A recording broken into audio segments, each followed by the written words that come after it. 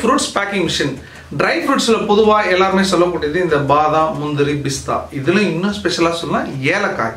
ஆனால் இப்போ இந்த ப்ராடக்ட் எல்லாம் பேக் பண்ணுறவங்க அதாவது சின்ன அளவில் சில்லற வியாபாரம் பண்ணுறவங்கள்ட்ட போய் பார்த்தீங்கனாலும் சரி இல்லை ஹோல்சேலாக பண்ணுறவங்க பேக் பண்ணுறவங்கள பார்த்தீங்கனாலும் சரி எல்லாமே இந்த அஞ்சு கிராம் பத்து கிராம் தான் பெரிய marketing it's a huge market அப்படின்னு சொல்லிட்டு இருக்காங்க. ஆனால் இப்போ நீங்கள் அதாவது இந்த பேக் பண்ணி விற்கிறவங்கள்ட்ட போயிட்டு பார்த்தோம் அப்படின்னா என்ன பண்ணிட்டு இருக்காங்கன்னா ஒவ்வொன்றும் பத்து கிராம் மேனுவலாக வெயிட் போட்டு ஒரு ஸ்டாப்லர் பின் போட்டு ஒரு அட்டையில் பின் பண்ணி வித்துட்டு இருக்கீங்க ஏங்க இந்த மாதிரி இன்னும் வந்து இந்த மாதிரி பின் பண்ணிட்டு இருக்கீங்க ஏன் ஆட்டோமேட்டிக் மிஷின் இருக்கே நம்ம கேட்டோம் அப்படின்னா இல்லைங்க சார் நாங்கள் வந்து கோயம்புத்தூரில் பார்த்தோம் சென்னையில் பார்த்தோம் ஏன் ஃபரிதாபாத்தில் பார்த்தோம் ஹைதராபாத்தில் பார்த்தோம் எங்கேயுமே மிஷின் கிடைக்கலன்றாங்க. இனிமேல் இந்த கவலையே வேணாங்க.